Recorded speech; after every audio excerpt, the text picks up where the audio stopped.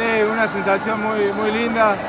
Veníamos de dos empates. eh, y por ahí hubiésemos merecido un poco más. Y, y bueno, convertir mi primer gol con esta camiseta en este estadio es una sensación inolvidable, así que estoy muy contento.